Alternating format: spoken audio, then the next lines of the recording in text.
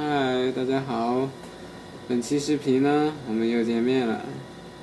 那么在本期视频当中呢，我想跟大家聊一下，在中国读书到底有没有用，或者说读书到底是不是中国底层人的唯一出路？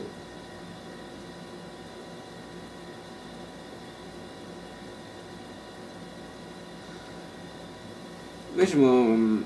嗯，为什么突然要想就是说聊这个话题？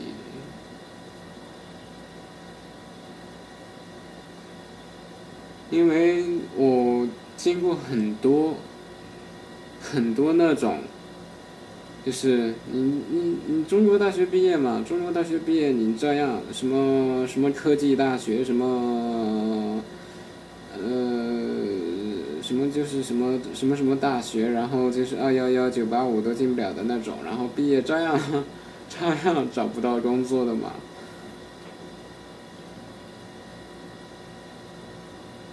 但是我倒是觉得读书出来有没有用，不能以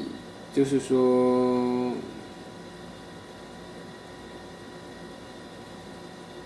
去找工作来进行这个衡量。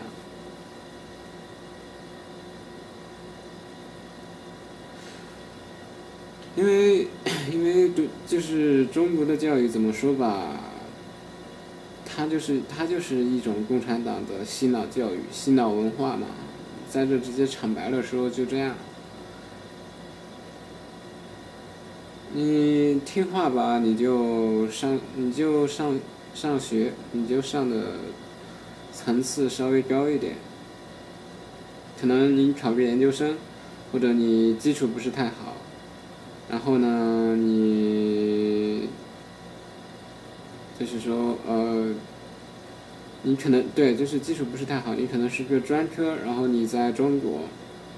然后你只要就是听党话，跟党走，基本上 基本基本上都不吃亏，但是。但是说白了，中中国政治课这种东西根本没几个人愿意去学，不是说愿意去学了，就是一个首先是信里边的东西，就是是根本没人信的东西，这是第一个。第二个是什么呢？第二个是说，就是说，目前这个社会环境下，嗯。实际上，实际上基本上，就是就我观察到周围的这些同学啊，或者是我这个年龄段的朋友，对这个共产党基本不抱什么期望。就是嗯，也不能说是完全不抱期望吧，就是一个是，一个是害怕高共产党的高压政策，就是说共共产党你要不不听话，高考政审。过不了，嗯，然后什么亲戚高考政审过不了，嗯，这是这是一个，然后呢，再就是共产党确实是洗脑教育也算是比较成功，啊，也就是导致说，哎，就是导致说他不认为中国的这些问题，就是包括什么什么，就是很很多中国的很多问题呢，实际上都是共产党。造成的，而中国共产党的教育成功的，至少是说让九零后这一代，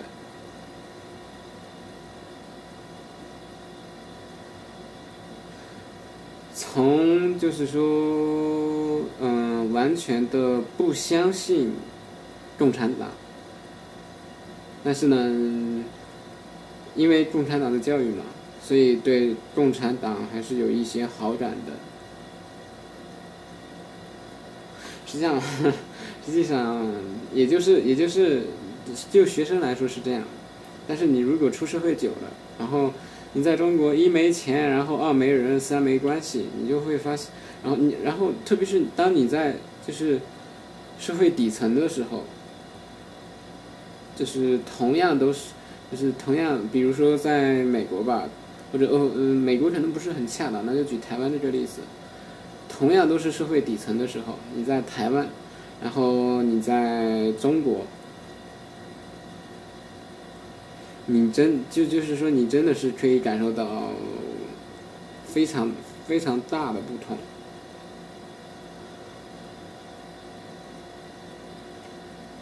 为什为什么说就是不它的不同非常大呢？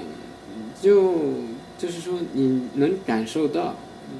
整体是就是中国那种原始社会底层那种原始的人吃人的社会呢，就是现在依然是这么多年基本上依然是没变。嗯，台说实话，台湾这边社会底层我没有接触过。但是，就我整体而言，至少至少我感觉就是周围的台湾人、台湾朋友都很开心。就是我有时候，我有时候就感觉中国人中国人活得特别累，就是整天为了。三三百万美就是不是三百万美元了，三百万人民币在美换成美元的话，在美国能买好大一套房子。呃，这现在在中国三百万人民币还是便宜的房子。然后中国人就奋斗一辈子，然后就供那 供个二十年还是三十年，然后前应该是前几个月吧，然后还有那个叫。就是你你死了以后，然后你儿子还可以还得还贷的那种贷款，我估计下一步可能就什么什么祖孙三代，然后买一套房子，这个这就是完全有可能的，就跟当初那文化大革命一样，他们他们说文革结束了，文革走了，现在文革实际上在网上的这种文。就是这种中国网上的这种文革早就开始了，整天就是什么厉害了我的国，厉害了我的国，然后又是什么上纲上线，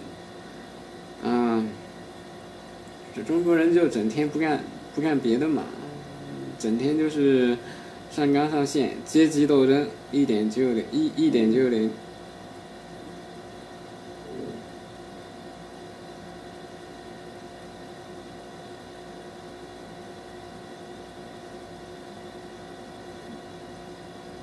行，本期本期视频就先就先就先做到这里。